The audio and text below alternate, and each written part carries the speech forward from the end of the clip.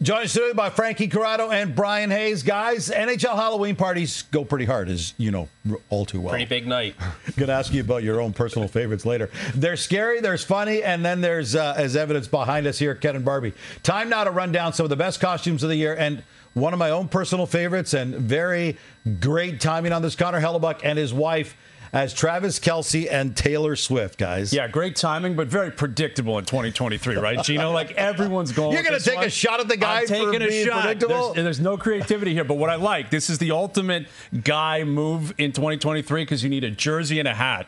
Nothing else. Nothing else. You're Nothing good. else. It's perfect for Hellebuyck. It's perfect. And the risk you run with this is that someone else on the team is showing up to the Halloween party wearing the exact same thing, and we're going to have multiple Travis Kelce's He's and the veteran, Swifts. though. He makes the call. All right, here's one that's a little bit more personal, and that's Brandon Montour's son as Sam Bennett. What do you think? When you have an opportunity to incorporate a teammate into your costume, that is number one. That is the best thing you can possibly do. Everyone in the room loves that kind of stuff. And this just kind of writes itself, doesn't it? It's a perfect look. He needs to throw massive hits, though, right? Sam Bennett, he throws massive hits. They get a video of that kid throwing a massive hit. That would be huge. The Boston Bruins winning on the ice and winning as well in the Halloween scenario. The Boston Bruins is the cast of Barbie. How's that for timing and that success? perfect. I mean, just as predictable as the the Taylor Swift Travis Kelce situation. But you know, when you see a movie go this big, it's like everyone's following a certain theme, and this one's as good as it gets. Yeah, loud colors. I think it's suitable for athletes as well, right? Like you, you're wearing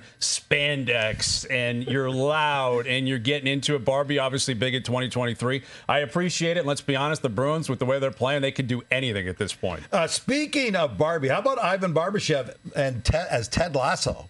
This is one of the shows I never jumped on board with, but again, it's it's simple. It's easy for the guy, which I appreciate. you get a fake mustache, maybe a pair of shades, throw on a hat, a crew neck sweater, and you're gone. It's And, actually beautiful. And you have to you have to like live out what Ted Lasso would do. So you got to go up to people and have positive things to say about them. Try and affect their life in a positive way throughout the evening, and I think you could follow through with that. Mika Zibanejad and his wife as new mom and new dad. See, this is very, very fitting because I've done this, Gino. I know you've done this, Gino. I've been through this before. That is art imitating life, and it's actually beautiful. My kids are four and almost eight now, so I'm out of that, but I've been living this for a long time. Well, and this is good too because, like you said, you don't need to put much into this. You don't need the, the you don't need to do your hair. There's no makeup involved. In fact, you could just wake up right out of the wrapper Right. and be ready to go. And they're leaving early. Let's clarify that. So No doubt 10 about o'clock, They they're gotta out of get they have the the latest. best excuse ever. All right, guys. Next up, a blast of the past. Michael McCarron and his wife as Cruella de Vil and a Dalmatian. Not bad.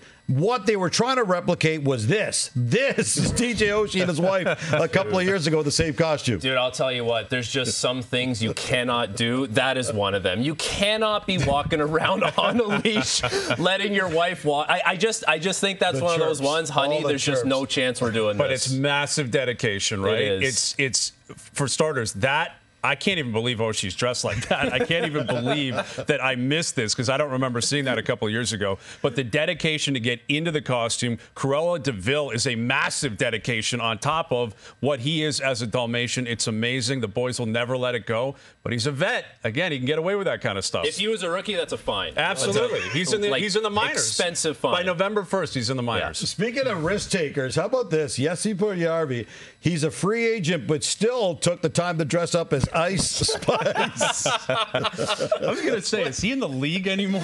Like, how does this even work? Here's the thing: you got to be attached to a team. Like you can't just dress up and be like, "Hey, I'm, I'm in I'm in the mix here for Halloween." Ice Spice and who's playing Pete Davidson? Do we even know? It doesn't really matter. It's someone else that isn't in the NHL. So it's all That's, that's not where our eyes go on this picture. There's no doubt about that. Okay, so this is not a costume, our next one right now, but it is a suggestion for a costume for you, Hayes, the tortured Leafs fan. Yes, well, I've been wearing it my whole life, Gino, so it might as well continue. I mean, I actually take it off on Halloween. I wear something different on Halloween because I take one night a year off. That seems reasonable. It, yes, for sure. And Frankie, we already know your costume for for tonight, right? Thank you. DJ Frankie. yeah, we're See? bringing it back. Yeah. How much production went into that? I How much money was spent? How much did the company invest? Because that's one of the coolest videos ever. You talk about it though. You're not a rookie at TS anymore. but you're not far off. That's not gonna. You're not gonna live that down anytime. No, soon. and you know what? I will embrace that fully. Anytime for your show, you need some music suggestions. I'm happy to help you out. I never dressed as DJ Pauly D in my time. I wish I did. My best Halloween costume when I was a healthy scratch for a million straight games in a row. I dressed as Where's Waldo as a little shot. Yeah. I like Coach it was loved it was that, on bet, purpose. Where's Frankie? I figured like that was going to make the rounds and it would just be a little shot. Oh, 100% intentional. On that note, from the 7 Eleven family, happy Halloween, everyone.